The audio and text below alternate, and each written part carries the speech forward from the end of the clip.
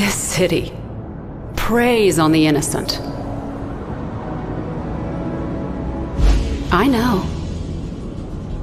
That's why I fight. Why the hunted is now the huntress. Batman and his crowd think I play a little rough. I think I don't play rough enough. Mobsters like the Falcones, crime lords like Penguin, psychopaths like the Joker. They redefined street crime. And now, with all this new muscle, it doesn't take the world's greatest detective to figure out this isn't just a battle, it's a war.